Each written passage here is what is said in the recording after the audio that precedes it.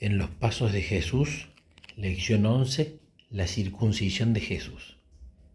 Fecha posiblemente octubre del 5 a.C. Lugar, Belén.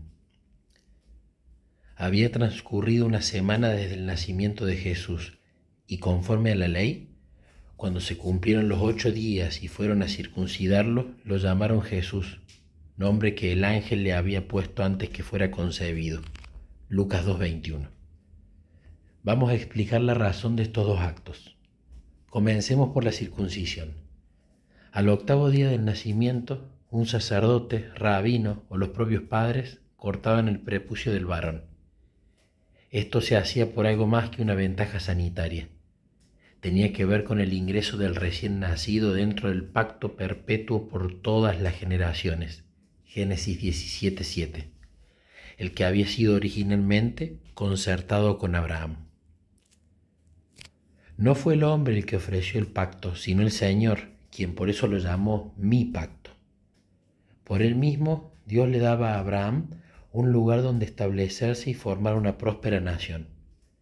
A cambio, él y sus descendientes debían hacer algo muy simple, obedecer su ley. Si lo hicieran les iría bien, tendrían larga vida y prosperarían. La credencial, la señal de ese pacto, sería una marca en el cuerpo. Todos los varones de cada generación deberán ser circuncidados a los ocho días de nacidos. Todos, sin excepción, tanto el nacido en casa como el que haya sido comprado por dinero, deberán ser circuncidados. De esta manera, mi pacto quedará como una marca indeleble en la carne de ustedes, como un pacto perpetuo. Génesis 17 del 12 al 13.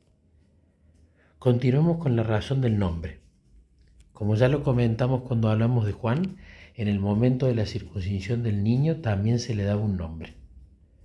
De igual manera que Gabriel le había dicho a Zacarías cuál sería el nombre del precursor, también le dijo a María cómo debía llamarse su hijo. También se lo indicó después a José. Los nombres de personas en el antiguo cercano oriente no eran formas irrelevantes de identificación, como a menudo lo son hoy para nosotros. Para los antiguos semitas, los nombres personales estaban cargados de significado espiritual.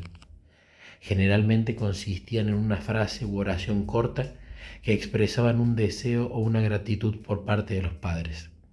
Por ejemplo, Daniel significa Dios es juez, Joel significa Jehová es Dios, Natán significa don de Dios y Jesús significa Jehová es salvación. Por eso Gabriel había afirmado que ese niño ya hecho hombre salvaría a los creyentes de sus pecados.